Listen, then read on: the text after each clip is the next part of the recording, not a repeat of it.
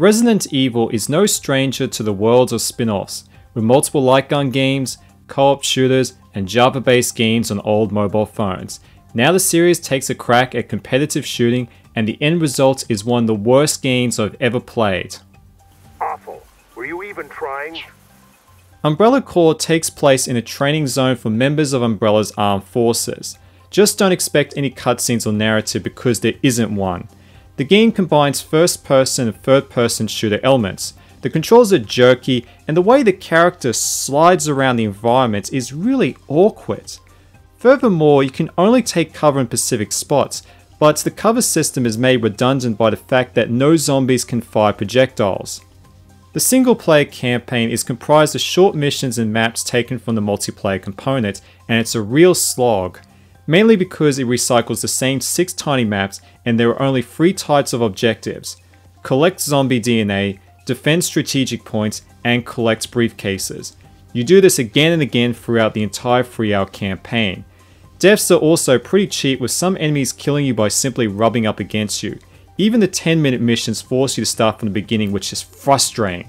It feels like a cheap trick to extend the lifespan of the game's short campaign. There is a radar, but it's so tiny and difficult to read it may as well not even exist. This one's mine. Multiplayer is pretty much a ghost town, but if you find someone, it allocates you into teams of three people in both modes of gameplay, one life match, and multi mission. As the name suggests, one life match gives you only one life, and you're out of the match until everyone in a single team has been defeated. The emphasis on quick kills is similar to Quake 3, which would be a good thing if the controls and gameplay weren't so tedious.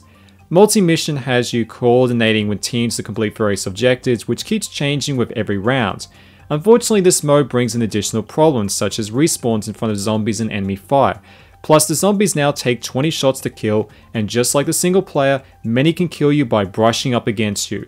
It's a mess, and the only good thing I can say is the netcode functions without any lag.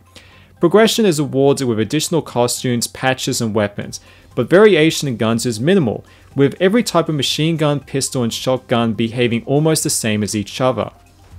You know what they say, if at first you don't succeed, Capcom has a reputation for making good PC ports, but Umbrella Corps suffers from poor optimization.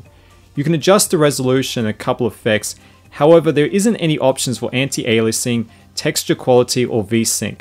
I have to admit I don't have the most powerful rig, but I can still run Resident Evil 6 and the recent Revelations 2 with all the graphical settings turned up, but still hit 60 frames per second.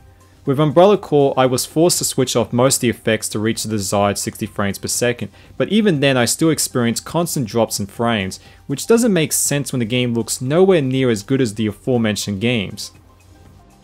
Your performance is lacking. I was visiting Japan when Umbrella Corps was released, and there were shelves dedicated to this game including a limited edition PS4 console.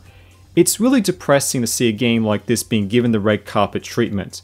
Between this and Street Fighter V's botched launch, I've lost all faith in Capcom. Which is sad, since they used to be my favorite third party publisher of fresh games like Ghost Trick, Killer 7, Okami, and Viewtiful Joe. Sadly, those golden days are no more. Got exactly what you deserved.